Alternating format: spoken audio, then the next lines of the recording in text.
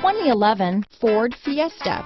Ford will be offering a wide range of options and accessories on the Fiesta in a play to make the Fiesta highly customizable to fit the preference of its drivers. This vehicle has less than 145,000 miles. Here are some of this vehicle's great options.